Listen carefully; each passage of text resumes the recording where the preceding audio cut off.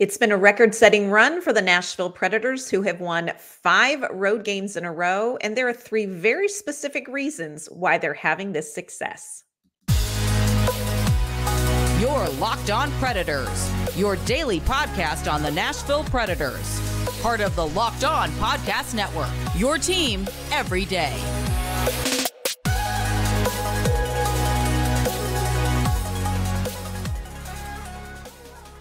Welcome to the Locked On Predators podcast, and thank you for making us your first listen of the day. We are your free daily Nashville Predators podcast, part of the Locked On Podcast Network, your team every day. Of course, want to kick off this Monday episode the way we start all of our episodes, and that is with a shout out to our Locked On Pred heads, our everyday listeners who tune in to talk all things Nashville Predators hockey with us. We love that we get to spend a little bit of time with you in your day. And we thank you so much for your support. I'm Ann Kimmel. I am a writer at the Hockey News. I'm usually joined by my partner in crime, Nick Morgan. Nick will be back next week. We have so much that we need to cover in today's Monday episode. Of course, we need to dive into this Nashville Predators record setting 5 and 0 road trip and we also want to touch on Milwaukee Admirals. Their record setting win streak came to an end this weekend. We're going to talk about that and what we can take away from Milwaukee's run that may reflect on the Predators' future. So, so much to get to. But before we dive into all that, I do want to let you know that today's episode is brought to you by Sleeper. Download the Sleeper app and use promo code Locked On NHL to get up to a $100 match on your first deposit. Terms and conditions apply. See Sleeper's terms of use for details. Well, it was a big hockey weekend for Nashville Predators fans between back to back games in California for the Predators and back to back games for the Milwaukee Admirals, who have been on that major AHL win streak. But we are going to kick everything off talking about what is happening with the Nashville Predators. The Predators on Sunday night wrapped up their five game road trip with back to back games this weekend out west. On Saturday, they got the fourth 4 to 2 win over the San Jose Sharks last night. Got a four to two win over the Anaheim Ducks. So, what do we learn from these last two games of this five game road trip that kind of sealed this 5 and 0 road win? Well, I think the first thing we need to acknowledge is that the games against San Jose and Anaheim were not by any stretch of the imagination Nashville's best hockey that they played this season. There were definitely stretches of time in each of these games where this looked like a Predators team at the end of a five game road trip but they really did what they needed to do to get these wins. And this is a tough way to end a road trip. You wouldn't think so. You would think if you could kind of lay out an ideal road trip, you want to get your hard teams out of the way first and then end with some teams that maybe aren't as high in the standings. But I think that can lead to what we always refer to as trap games. And I've asked Andrew Brunette before earlier in the season, do you believe in trap games? And he said, doesn't necessarily believe in trap games, but he believes there are always games that you can be unprepared for. And I think the games against San Jose and Anaheim kind of set you up for that. You're tired um, from the travel, of course. You're tired from playing three really difficult playoff contention teams and getting those wins. And you have to really stay in a good mental space. You have to stay in that highly competitive mental space. And you have to find the physical energy to get through those last two games, especially when they are back to back.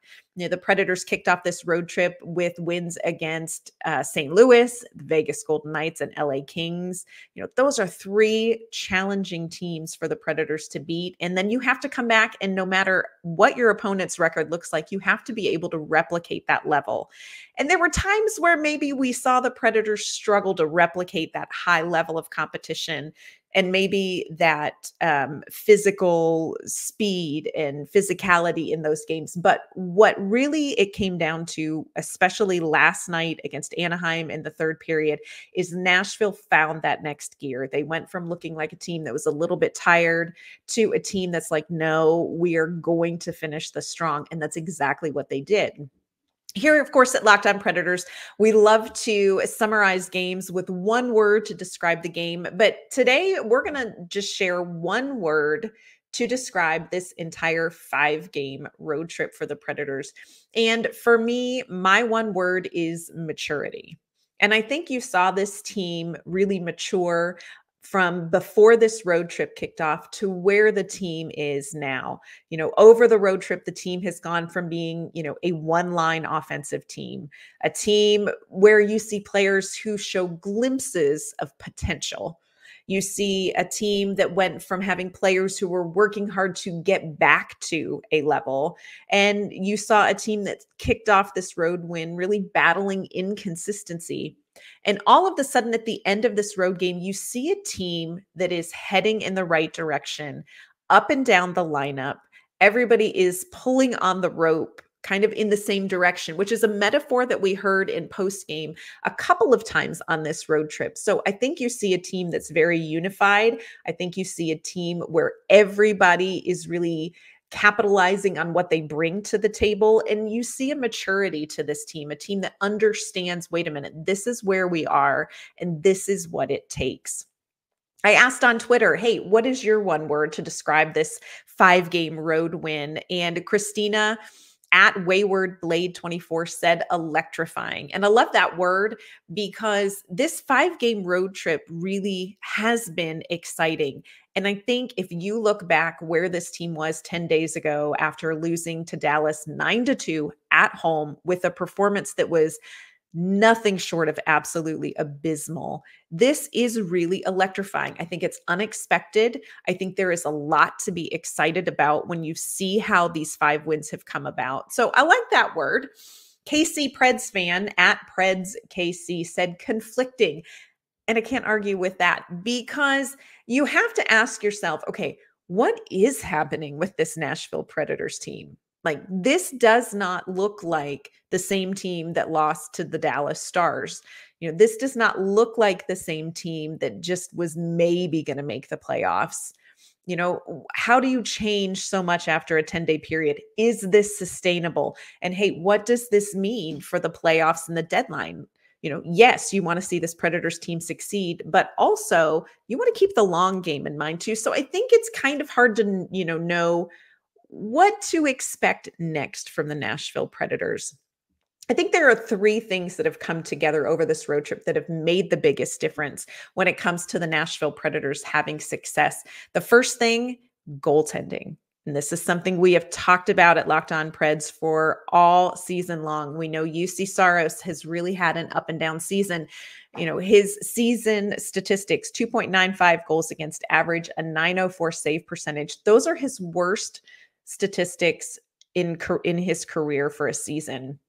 Over these 3 games, granted small sample size, but over these 3 games, his performance has been so much better. He has a 943 save percentage. 1.67 goals against allowed. He has allowed only five goals in the three games of this five game road trip. And it's not even so much uh, his statistics as it is the situation that he was put in.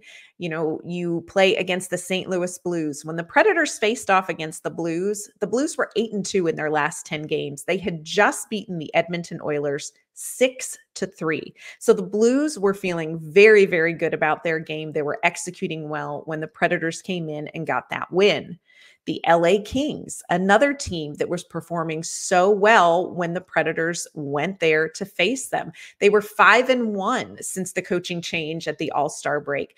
LA Kings had found their groove it seemed like and Nashville had to go in and face them you know, I know that there has been a lot of talk about Juuse Saros and Yaroslav Askarov and the trade deadline, but I don't want to overlook Kevin Lankinen. And this is a player that I think has not probably gotten as much attention because, again, statistically, maybe not his best. Uh, 315 goals against average, 903 save percentage on the season. He played two games of this road trip. Uh, he faced the Vegas Golden Knights, which is no easy task. He also played last night against Anaheim. He had a 910 save percentage in those two games. So I think you want to give credit to Juuse Saros. We're seeing consistency from him over this road trip. We're seeing vintage Saros saves.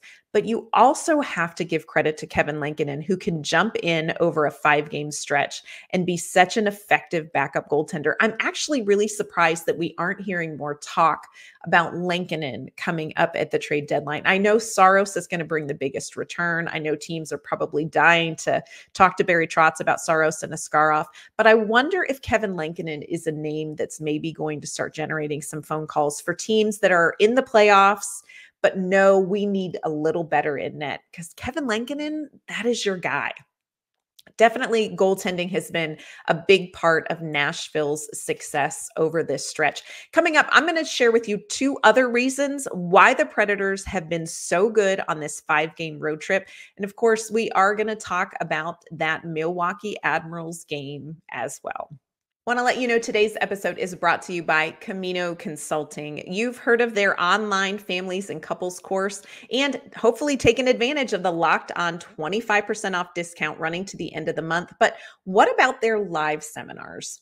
In both sports and business, the challenge in differentiating candidates and recruits is an endless battle. Everyone can demonstrate their measurables and qualifications, but we all know that it's the intangibles that matter when those things are similar. Contact Camino Consulting for their team and management seminars to get a peek behind the curtain and watch your next recruiting class or hiring group become one of the most effective you've ever seen. Both because you've identified the right candidates and because you've learned how to communicate and motivate them in accord with their own preferences. But you aren't in business management or working with a team? We pay referrals. Make some money making your workspace in favorite teams better. Every group works together better at the end of year one than week one. So contact Camino Consulting at caminoconsulting.ca and get on the fast track to understanding. Again, check them out at caminoconsulting.ca. Nashville Predators just wrapped up their five game road streak 5 and 0. Now they're getting ready for a five game homestand. And that's been a little bit of a different situation. On tomorrow's show, we're going to preview Tuesday night's game against the Ottawa Senators. We're also going to talk about why have the Nashville Predators struggled so much at home? There's a lot to unpack there.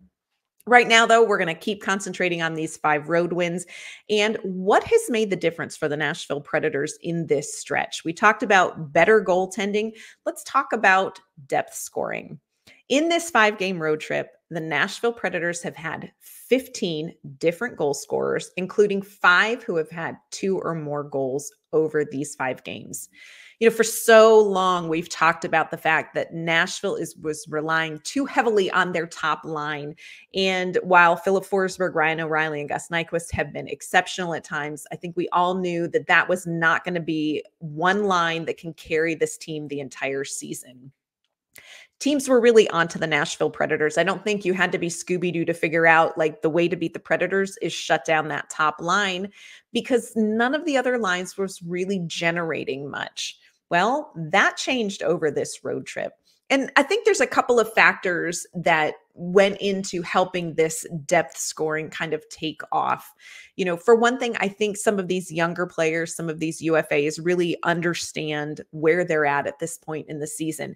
Barry Trotz is making evaluations right now, and he's talked about the fact that he wants to give these players and these UFAs, these young guys, as much runway as he can before he makes long term decisions and I think the players understand hey, we're getting down to the wire. If I want to be a piece for the Nashville Predators long term, I've got to show that right now. And I think Barry Trotz wants to say, hey, if I'm thinking about trading you, show me what your value is.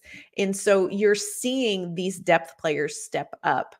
I also think there's more to it than just understanding the situation. Andrew Brunette has talked this season about players like Tommy Novak and Luke Evangelista who have maybe struggled to finish at times. And that's been something that we've talked about here. So many great chances, quality looks, not finishing. And when that happens, especially when you are just kind of settling into your NHL career, Andrew Brunette said, look, you get players who kind of grip the sticks a little tight because you're not finding the back of the net. And you start to think, maybe I'm snake bit um, you start relying so much on the statistics of goals and assists that you forget about the little other aspects of the 200 foot game where you can be contributing. And we've seen that with Novak and Evangelista. I think that they have been a little bit hesitant. I think they've waited for the perfect shot. They've been hesitant because they haven't found the back of the net. Well, that has changed. In his last 10 games, Tommy Novak has 10 points and six goals. Luke Evangelista scored two goals, three points in this five game road trip. And what you're seeing is those players, especially playing very differently, playing with more confidence, playing with more freedom, and really allowing themselves to rely again on instinct instead of thinking. And I think that really frees up their creativity as playmakers. And I think it sort of takes that pressure off them. And you're seeing like when that pressure is off, when they've broken through and gotten that goal, they realize, okay, it's going to keep coming. Another thing that I think you cannot overemphasize is how important during these five games it has been that the Nashville Predators had consistent lines. In these five games, Nashville has skated the same four lines and same defensive pairings every time. The only lineup changes was Saros in, Lankinen in. That was it. And that is the longest stretch of consistent lines that we've seen from the Predators this season. And it's not it's not just that they're consistent. It's that the combinations really seem to make sense. You look at Cody Glass with Colton Sissons. Like, I love that combination. They're playing with Yakov Trenin. Don't know what's going to happen with Yakov Trenin um, when it comes to the trade deadline or comes to next season. But when you look at these three together, I really like what they're doing. And I think Cody Glass, even though he's typically more of a center, he's playing on the wing, he's really thriving. And you see him back to last season's Cody Glass because he's playing with Colton Sissons. And Colton Sissons makes everybody a better player when they play with him. The other line that I think really deserves a shout out is that Novak Jankowski Evangelista line. You know, you have to wonder is Mark Jankowski ever going to go back to Milwaukee or are they going to keep him here? Because that line is really chawing along well um, you are seeing so much more from Luke Evangelista's game, you know, not just shooting and more um, offensive creativity, but you are seeing him be much more aggressive when it comes to hunting pucks, being creative. Mark Jankowski certainly adds a level of physicality. His game has always sort of been known more for his defense but now you're seeing this offensive side of Mark Jankowski kind of grow in his game. Same thing with Tommy Novak. You know, like I said, he's got 10 points in these last 10 games, he's got six goals. This is a line that is really building a lot of chemistry, and they're kind of covering all the bases that you need from a line where you've got some defensive responsibility, you've got that puck hunting, and you've got that finishing and creative playmaking. Now, one line in particular I want to give a shout out that I think has been the key to success for the Predators through this five game road streak. And it's not the top line of Filip Forsberg, Ryan O'Reilly, and Gus Nyquist. I'm talking about the fourth line Kiefer Sherwood, Michael McCarron, and Cole Smith. The fourth line has three game winning goals in these five wins. And I think this is just an incredible testament to these guys as individuals and their collective talent together. Kiefer Sherwood is a UFA. Kiefer Sherwood has been a healthy scratch in 10 of 17 games leading up to this road trip from January 1st on. But you would never know that watching Kiefer Sherwood in practice. Kiefer Sherwood practices like he is a top line guy playing 20 minutes a game. He is always working hard. He's never taking any practice time off. He is always pushing himself to be better. And I think that's such an ingrained part of Sherwood's identity. This is a hard working player. He may not out uh, may not out talent someone. He may not have as much creative playmaking, but he is one of those players who's just simply not going to be outworked you know, he does have a lot of speed, which is something that I think complements this style of play pretty well. He's very strong physically. I think he sees plays well. He does struggle to finish sometimes. So it was really exciting to see him get some goals in this five game road trip. You know, I know sometimes he can play himself into penalties, but I think that's something that he can work out of. So in, it'll be interesting to see what this stretch is going to mean for Kiefer Sherwood. Again, he is a UFA. This is a win-win. His performance is going to be beneficial one way or the other. For one, you may have found a line that Barry Trotz says, you know what, this is a line I want to keep together through the playoffs, and maybe give Kiefer Sherwood the rest of the season to show me that he can consistently play this well. Or if you decide that Kiefer Sherwood is a piece that can be a part of a trade, his trade value has just increased by what he's been able to do over this five game stretch. I don't know that Kiefer Sherwood is going to be a long term piece, but I think he is doing everything he can to make Barry Trotz really think about it. Also, got to shout out Michael McCarron. I know everybody squawked when Michael McCarron was re signed. Let this run explain once again why you want Michael McCarron on your roster. Michael McCarron plays in the hard areas. He chases and hunts down pucks. He is very physical. He has a huge net front presence. And whether that means cleaning up loose goals and scoring or providing a six foot six inch screen in front of a goaltender, this is a guy you want there. This run has helped Michael McCarron set a career high in goals, assists, and points, and he is not done yet. He's also gotten much better defensively. He's an important piece on the penalty kill as well. Cole Smith, another player that people didn't necessarily want Barry Trotz to re sign. He has career highs in goals and points, including three shorthanded goals, five shorthanded points. What I think is so interesting about this fourth line is that this fourth line is made up of two undrafted players in Smith and Sherwood, and they're playing with a first round draft pick in Michael McCarron, but they are changing games for the Nashville Predators. So after the Anaheim game, Andrew Brunette talked about what is it about this fourth line that is giving them success. And he and Michael McCarron answered that question. This is what they had to say. Well, I think it's it's it's one. Eh, they've been great. They've a little bit been our identity here through this trip. Where they're relentless. They're on pucks. They're long. They're fast, and they have some skill. And I think they set the tone of a lot of our games on this trip. Um, and it's again so important for our group. We're, we're getting some secondary scoring. You know, the big line's been great all year. Still scored a big goal tonight, but it's nice to see that that those other lines starting to come a little bit. Well, we got two fast guys on my wing. Um, you know, it's when when you play with speed and, and pace and uh, winning puck battles down low, um, taking pucks to the net, finishing our checks. I think we can wear down teams. And uh, by the third period, I mean, um, they really don't want to go back for pucks. I mean, it's it's it's annoying when you got got guys in your ear and um, on your back all, all game. Um, I think we were able to do a pretty good job of that on this road trip, and um, you know, help our team win. It's uh, it feels good to help our team win. I love what Michael McCarron talks about. It's annoying, and I think the nicer way to say that is that this is a line that is relentless for the Nashville Predators. And big picture, when you look at the four lines that have played over this five game stretch, they are getting pretty equal ice time, which tells you that Andrew Brunette likes what he is seeing from this lineup top to bottom. And we haven't seen that before during this season for the Nashville mm. Predators. Coming up, while the Predators set that franchise record road win, five game win streak this weekend, the Milwaukee Admirals franchise win streak ended. We're going to talk about how that ended, and we're also going to preview the Predators week ahead coming up. First, want to let you know that today's episode is brought to you by our great friends at Sleeper. So, regardless of where the Nashville Predators are in the standings, I want to remind you that you can win big playing daily fantasy hockey on Sleeper. It's the official daily fantasy app of the Locked On NHL network.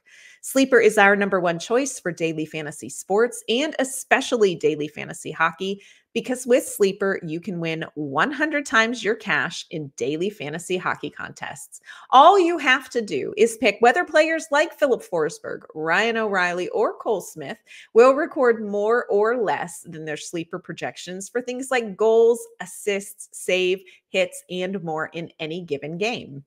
To win 100 times bet on Sleeper, you need to correctly predict the outcome of eight player stats. That's right, you can win 100 times your money playing daily fantasy hockey with Sleeper. So start paying attention and nail your picks so you can start winning big. Use our promo code locked on NHL and you're going to get up to a $100 match on your first deposit. Terms and conditions apply. That's code locked on NHL. See Sleeper's terms of use for details and locational availabilities. The Nashville Predators have some big games coming up at home. We're going to talk about what's ahead in just a minute. And of course, on tomorrow's show, we're going to take a closer look at tomorrow night's game against the Ottawa Senators. First, want to check in with our Milwaukee Admirals. The Milwaukee Admirals also had back to back games this weekend, and the games came with some highs and some lows. Saturday, the Admirals faced off against the Chicago Wolves and they got that win. One of the cool moments in the game, Cal O'Reilly became the Milwaukee Admirals all time leading scorer with a goal in that game. They had a great tribute video to him. Really, an amazing testament to a player who has played all over, but really has invested so much of his career with the Nashville Predators franchise and with the Milwaukee Admirals. So, I want to give a shout out to Cal O'Reilly. And I know they got him that puck. I hope it goes somewhere amazing and special. Sunday, the Milwaukee Admirals faced off against the Grand Rapids Griffins. And we knew this was going to be a tough game because the Grand Rapids Griffins were coming into the game on a 14 game point streak. This is the Detroit affiliate. Of course, we know that the Milwaukee Admirals had won 19 straight in a row. This was going to be a really good game. It was a tough game. Grand Rapids got up two to nothing after the first period. They got a power play goal in the second period and then a really quick goal after that at five on five to make it four nothing. And it was just one of those games where you were like, man, the Milwaukee Admirals are really struggling to push back. Yaroslav Askarov gave up four goals on 17 shots through the second period. But then the uh, Milwaukee Admirals kind of found their game. Liam Foudy got a breakaway goal with less than four minutes to go in the second. And then Cody Hodgson scores 15 seconds later to make it four to two. The Admirals were back in it, but they couldn't get anything going in the third period. And the final score was four to two. Milwaukee's win streak ended at 19 games. Now, can't do anything but say, way to go. It was really incredible. Don't be sad that it's over. Let's all just be happy it happened there were definitely some factors that went into this loss. Again, Grand Rapids is on a great run themselves. This is a really good team. Uh, the Admirals also didn't have Jordan Gross. Uh, of course, Egor Afanasyev, Mark Jankowski up in Nashville. Just want to let you know that we believe that Egor Afanasyev has been reassigned to Milwaukee as of this afternoon. We're going to follow up with that on tomorrow's show. Also, no Fedor Svechkov. Svechkov was injured in a game last week, out four to six weeks with a lower body injury. So I think that there is a lot that went into kind of why the team didn't get that win on Sunday. But again, you just can't walk away from this feeling anything but excited about what this team did what this team is going to do and what this means for the Nashville Predators when you have players like Svechkov and Afanasyev and Joakim Kemell and Yaroslav Askarov playing those kind of games and getting that many wins. Now, the Milwaukee Admirals are on a nice little break. They're going to be back in action on March 1st at home against the Rockford Ice Hogs. Again, loved what you saw from this team, not just because they dominated in all 19 games, but because there were a lot of those wins where this Admirals team had to find their way. They had to kind of claw their way into a win where maybe they weren't playing their best hockey or they were playing a team with a little bit more speed or talent, but they found ways to get wins. And I think that is something that is really encouraging about that experience for these young players. So let's see what comes next. Again, Zachary L'Heureux, I thought he has played really well in this stretch. Liam Foudy, who we saw for a little bit in Nashville, really been using his speed, played well in this. Uh, Juuso Pärssinen and Phil Tomasino have been important parts of this stretch run since they were reassigned there. Let's see what happens with their game and see what happens if they return back up to Nashville when they do. Also, great goaltending from Yaroslav Askarov and Troy Grosenick, who is often overlooked. Um, but wow, he has been really great too. Now, Nashville Predators back here at home for five games in a row. Let's see what they can do. And look, these are not going to just be easy games. We're kind of looking at a, at a challenging stretch like they just went through on the road.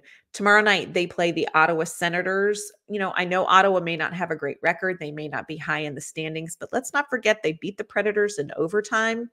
This is also a roster with plenty of talent. So, we're going to take a closer look tomorrow at that team and what the Predators will need to do to get that win after Ottawa later this week, they're going to be playing John Hynes in the Minnesota Wild. And this is a game that's going to have a high uh, high intensity level. These are big playoff points on the line. Again, you've got John Hynes returning to Bridgestone Arena. Now we know how that went the last time when he was back at Bridgestone Arena, but let's see what the Predators can do. And then Saturday at home against the Colorado Avalanche. Friends, this is going to be a huge game. Saturday night game, five o'clock start time, just focusing ahead, five o'clock start time instead of seven Saturday night against the Avalanche. This may be the game that tells us the most about this Nashville Predators team. Of course, Ottawa and the game against Minnesota going to be challenging, but I think okay, let's measure ourselves against the Colorado Avalanche and see where this Predators team stacks up. The following week, they're going to play Montreal and Buffalo. So again, it's that same three challenging games and then two games that should be fairly easy, but the Predators are going to have to be ready and kind of fend off that trap game situation.